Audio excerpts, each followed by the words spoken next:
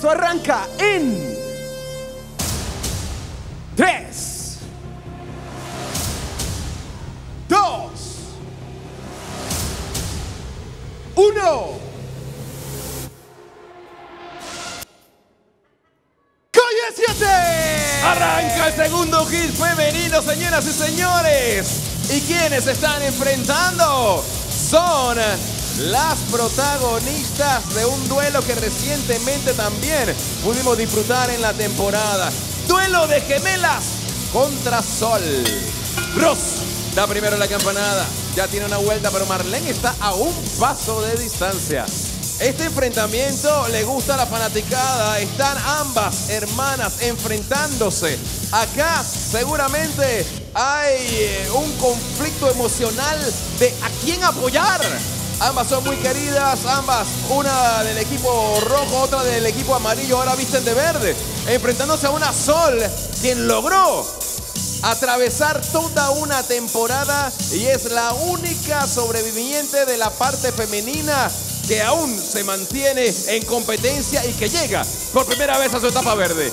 Campanadas prácticamente simultáneas por parte de Ross y de Marlene continúan el ritmo acelerado de competencia, una al lado de la otra. Toma el pañuelo, vienen de vuelta. Sol, tratando de mantenerse cerca. Hay una ventaja con eh, la alineación que tienen en este momento, ya que en el sorteo Sol tiene la suerte de quedar en el tercer hit y con esto la menor cantidad de puntaje que va a sumar serían 250, 200 pues del tercer lugar más los 50 que ya tenía acumulado desde la etapa de equipos.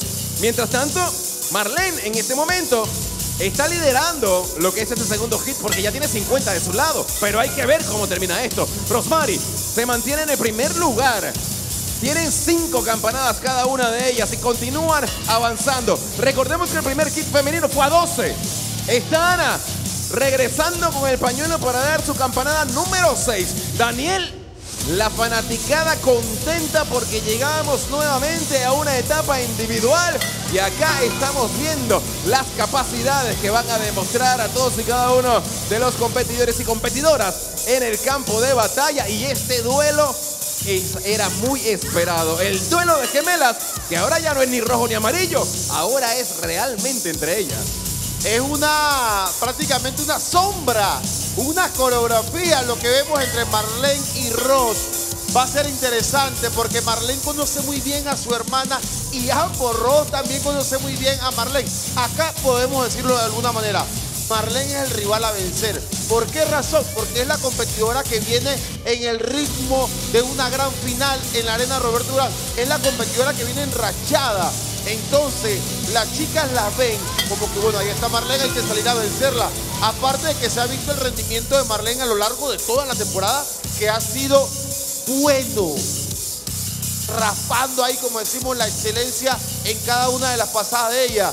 Entonces las chicas saben que en esta parte de la competencia hay que salir a ganar sí o sí. Avanzando Ross con un pasito por delante, pero vamos a esperar. Cuando lleguemos por allá por la décima campanada, donde una de las chicas va a arriesgar y va a tratar de separarse de su hermana. ¿Cuál será? No lo sabemos. Lo cierto es que ya Sol se queda por una vuelta atrás y el ritmo que están imprimiendo Rosmary y Marlene es interesante. La mirada atenta de Tapasco. Ahí baja Ros, la campanada, se puede equivocar. Cinco segundos de retención puede ser fatal para cada una de ellas. Décima campanada. Camino al onceava avanzando. Ahí está. Ross empieza a apretar. Marlene también la ve. Vamos a ver, ahí está el pique de velocidad hacia la campana, porque Marco va a salir por su última vuelta. Última vuelta, señoras y señores. Y por acá Ross tuvo un traspié. Marlene está un paso detrás de su hermana. Aquí viene el giro, las transiciones. Vienen a tomar el pañuelo. La definición. Toma el pañuelo primero Ross. Lo tiene Marlene. Sigue estando un paso por detrás. Acá viene el momento decisivo donde van a dar la campanada. Rosmary parece que lo tiene, señoras y señores. Y campanada. Primer lugar, 400 puntos para Ross. 350 puntos para Marlene y automáticamente Sol se queda con 250 puntos.